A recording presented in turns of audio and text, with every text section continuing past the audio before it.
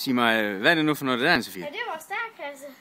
Okay, og hvad er der specielt ved en stærkasse? Ja, men det er simpelthen fordi, altså for det første er den så fin her foran, og så er den kun til stærre, og så er den lidt større hul, så de også kan komme ind Okay. og bruge. Kan man øh, få sådan en stærkasse i de der fancy øh, pink og turkisfarver der, eller hvad? Ej, det har vi godt nok ikke lavet endnu, men øh, man kan selvfølgelig gerne bestille det. Okay, hvad var det lige, du gjorde der? Nu må jeg lige se. Jeg åbnet den. Jeg har Ah. sådan en fin hang på her. Så kan man se den indeni. Her. Aha. Her har vi alle vores fuglehus. Aha. Smart. Ja.